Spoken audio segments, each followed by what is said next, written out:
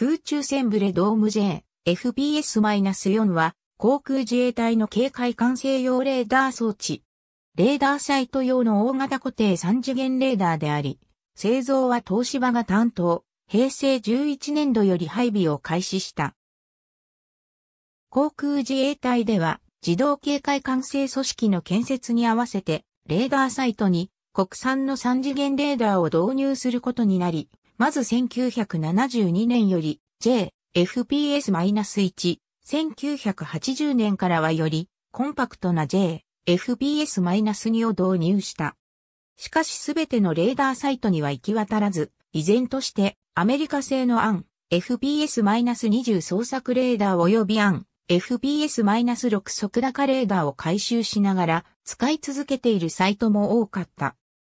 技術的陳腐化を避けるため、一機種の開発が終わると直ちに次の機種の開発に着手する必要があったこともあって、1981年には次期警戒管制レーダー装置の運用要求書が作成され、これに基づき J、FPS-20 及び J、FPS-6 の後継レーダーとして J、FPS-3 が開発されて、1992年より運用を開始した。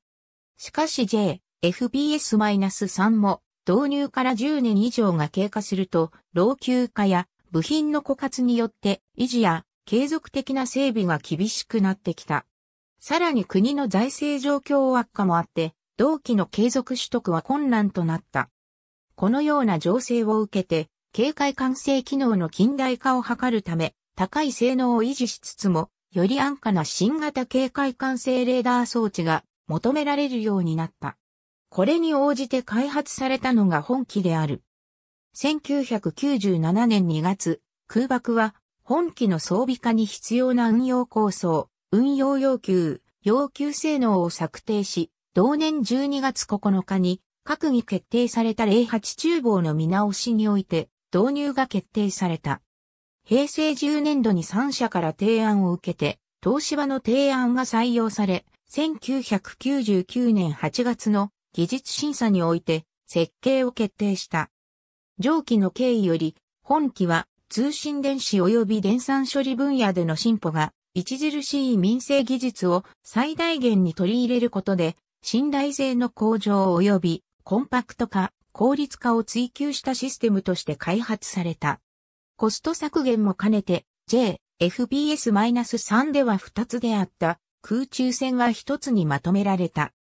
大型の反射板2枚を背中合わせに配置して回転する構成であり、最新デジタル技術を採用して多方向から来る電波を同時に受信できる機能を有している。このように規模及び経費的な面では縮小されたが、能力的には J、FPS-3 とほぼ同等のものが確保されている。